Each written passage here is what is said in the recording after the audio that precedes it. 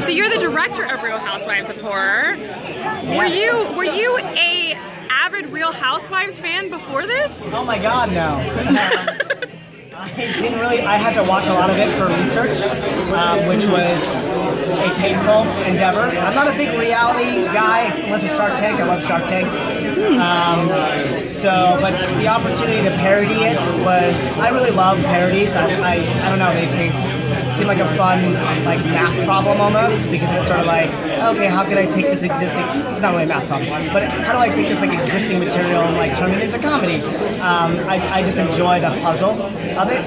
Uh, so it was fun you know diving into some Real Housewives episodes getting deep and then uh, kind of figuring out how we're going to translate that into horror and make that comedic and here's my water delivery.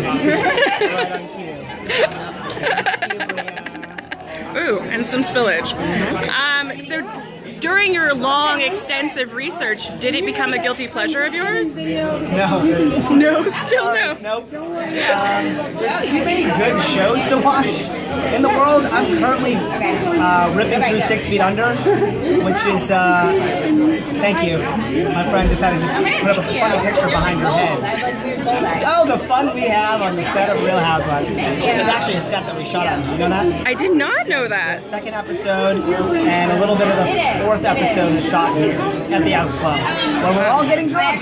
Yay! But no, yeah, Real Housewives, not a guilty pleasure, and uh, um, no, yeah, I'm, I was saying I'm watching Six Feet Under right now. Uh, I'm catching up on West Wing, so I'm a little behind on like Life? good traditional like narrative shows. Okay. You know what I mean?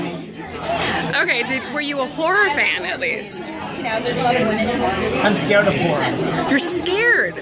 I've always gr- I've always been scared hoopless. I don't know if I can swear, so I said hoopless of horror. But I've, I've always been a big fan of horror comics. So Army of Darkness is like a movie that's very close to my heart. Like Okay. the whole Evil Dead series. Um, I love genre blending in general. That's like again, it's like there's a puzzle aspect to it, so I really get excited about that. Like uh, the show that I did for Comedy Central was The Legend of Neil, and it was about a guy getting sucked into Zelda, and so that was like a comedy fantasy.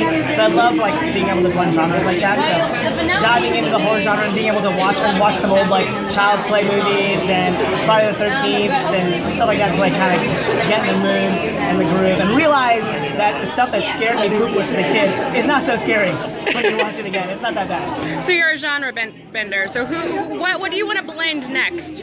Oh man, great question.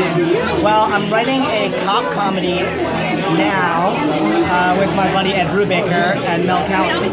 Um, and so that's we're working on that pilot, and uh, we sold it to a network. I don't know if I can say who it is yet because that's been announced, but um, we're very excited about that. Like I said, Awesome. hopefully next up they pick it up and. So buddy comedy is your next. Uh, Yeah, like oh, I guess it's not really a big blend, but it's taking it is sort of taking like crime, the crime genre, and blending it with comedy. So that'll be fun. We're doing it in a different way. It's sort of more of a uh, True Detective meets uh, Curb Enthusiasm. nice.